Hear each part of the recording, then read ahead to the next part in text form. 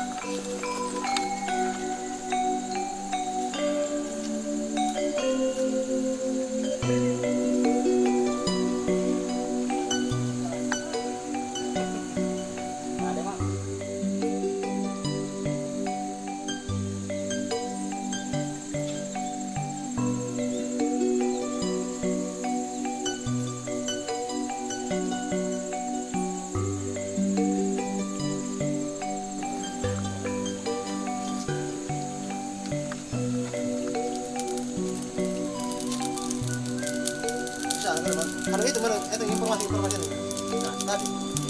Udah tadi aku lihat